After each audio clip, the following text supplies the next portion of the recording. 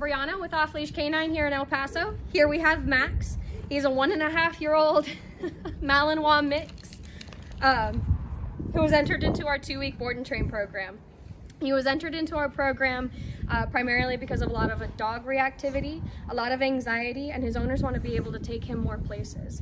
All right, so today we're just going to see what he already knows. Max, come, sit. Very good boy. You. You. You. You. Sit. Sit. Can you sit? Down. Down. That's okay. That's okay. You're a good boy. Say that's okay. All right. Stay tuned for Max's two-week board and train journey.